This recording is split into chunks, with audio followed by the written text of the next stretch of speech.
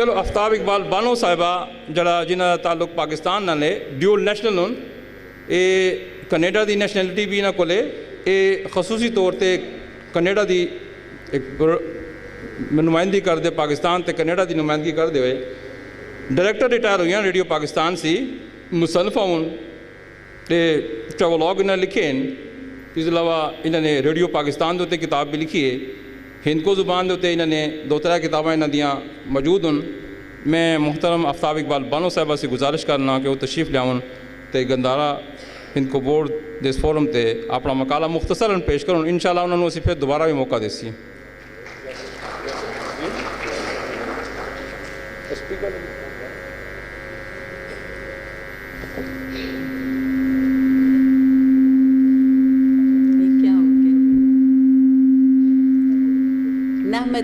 صلی اللہ رسول الکریم، بسم اللہ الرحمن الرحیم۔ محترم جناب اسپیکر اسد کیسر صاحب، جناب ڈاکٹر امجد حسین صاحب، جناب ڈاکٹر خلیل پکار صاحب، جناب اعجاز احمد قریشی صاحب،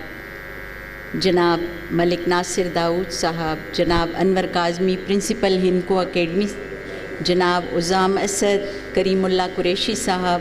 ضیاء الدین صاحب اسکالرس پروفیسرز خواتین و حضرات، میرے میڈیا کے ساتھیوں، السلام علیکم۔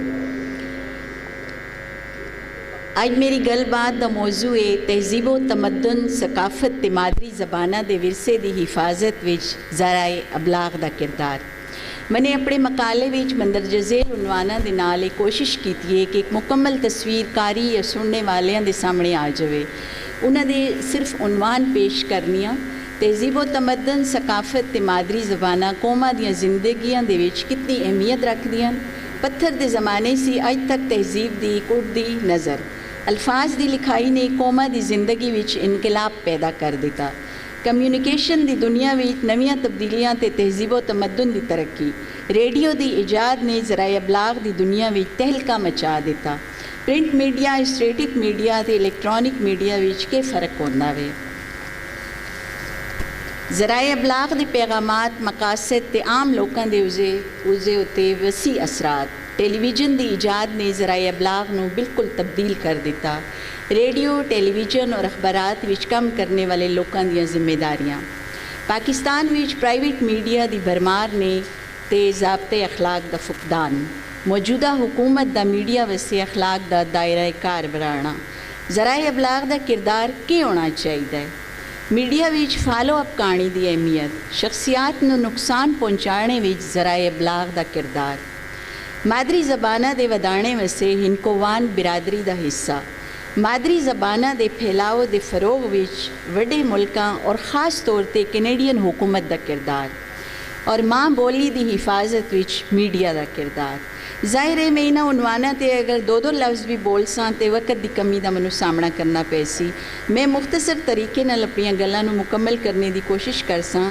لوگوں کی زندگی بھی تہذیب و تمدن، ثقافت اپنی مادری ز مادری زبان کی بے حد اہمیت آدمی ہے۔ بالکل ستونہ دی طرح کہ جتنے مضبوط اور طاقتور ہوندے ان آنڈا بھی اتنی ہی مضبوط تے طاقتور آنندی ਇਸ ਵਸੇ ਹਰ ਨਸਲ ਆਪਣੇ ਕਿਰਦਾਰ ਤੇ ਅਤਵਾਰ ਦੇ ਨਾਲ ਉਹਨਾਂ ਸਤੂਨਾ ਨੂੰ ਮਜ਼ਬੂਤ ਰੱਖਣੇ ਵਾਸਤੇ ਕੋਸ਼ਿਸ਼ ਕਰਦੀ ਹੈ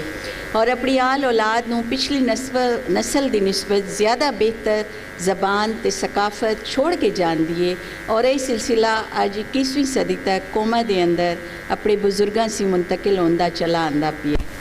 کاغذ دی ایجاد سے لے کے پرنٹنگ پریس تک اور پھر ریڈیو ٹیلی ویژن دی ایجادات نے دنیا میں حیرت انگیز انقلابات برپا کر دیتے۔ اخبارات، رسائل وغیرہ نے دنیا دے لوکاں نو زیادہ نزدیک کرنے میں نمایاں کردار ادا کیتا۔ اور ذرائع ابلاغ دے ذمہ داران دے موڈیاں تے اس گل دا پیشہ ورانہ بوجھ ود گیا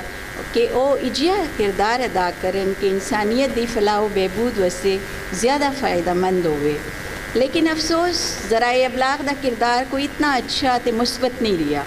رنگ رنگ دیاں خبران لوکاں دا قومہ دا مذاق اڈانا، لوکاں دے مذہب اور زبانہ نو لے کے تعصب پھیلانا، مسائل دی طے پہنچے بغیر اسا واویلا کرنا اور محبتہ نو پیچھے کر کے نفران دے بیج بوڑا۔ اے سب کر کے ذرائع ابلاغ والے سمجھ دین کہ سانے لوکاں نو بیوقوف بڑھا دیتا ہوئی ਤਾਰੀਖ ਚੁੱਕੋ ਤੇ ਪਤਾ ਚੱਲਦਾ ਕਿ ਜੋ ਕਿ ਯਾਦਗਾਰ ਵਿੱਚ ਇੱਕ ਵੱਡਾ ਜਿਹਾ ਰੇਡੀਓ ਸੈੱਟ ਹੁੰਦਾ ਆ, ਜਿਹੜਾ ਜਿਸ ਵਿੱਚ ਗਾਣੇ ਵਾਲੀਆਂ, ਬਰਾਏ ਰਾਸ ਗਾਣੇ ਗਾਉਂਦੀਆਂ ਤਕਰੀਰਾਂ ਨਸ਼ਰ ਹੁੰਦੀਆਂ ਤੇ ਤਾਜ਼ਾ ਤਰੀਨ ਹਾਲਾਤ ਤੇ ਤਬਸਰੇ ਨਸ਼ਰ ਹੁੰਦੇ ਹੈ ਲੋਕਾਂ ਦੀ ਭੀੜ ਇਸ ਡੱਬੇ ਦੇ ਇਰਦ ਗਿਰਦ ਜਮ੍ਹਾਂ ਰਹਿੰਦੀ ਹੈ ਔਰ ਇਹ ਆਵਾਜ਼ਾਂ ਹੈਰਤ ਨਾਲ ਸੁਣਦੀ ਰਹਿੰਦੀ ਹੈ ਟਰਾਂਸਿਸਟਰ ਦੀ ਇਜਾਦ ਨੇ ਖਲਬਲੀ ਮਚਾ ਦਿੱਤੀ ਔਰ ਲੋਕਾਂ ਨੂੰ ਇਸ ਇੱਕ ਨਿੱਕੇ ਜਿਹੇ ਗੈਜਟ ਨਾਲ ਇਤਨਾ ਪਿਆਰ ਆਇਆ ਕਿ ਉਸ ਉੱਤੇ ਬਹੁਤ ਪਿਆਰੇ ਪਿਆਰੇ ਗਿਲਾਫ ਚੜਾ ਕੇ ਹਰ ਵੇਲੇ ਉਹਨੂੰ ਆਪਣੇ ਕੋਲ ਰੱਖਦੇ ਆਏ ਅ, ਮੈਨੂੰ ਜੀ ਦ- ਅ, ਦੁਬਾਰਾ ਰਿਮਾਈਂਡਰ ਆਇਆ ਕਿ ਮੈਂ ਮੁਖਤਸਰ ਕਰਾਂ ਮੇਰੇ ਖਿਆਲ ਜੀ ਅ, ਮੈਂ ਅ, ਸਿਰਫ ਚੰਦ ਤਜਾਵੀਜ਼ ਹੀ ਪੇਸ਼ ਕਰ ਸਕਦੀ ਹਾਂ ਸਪੀਕਰ ਸਾਹਿਬ ਨੂੰ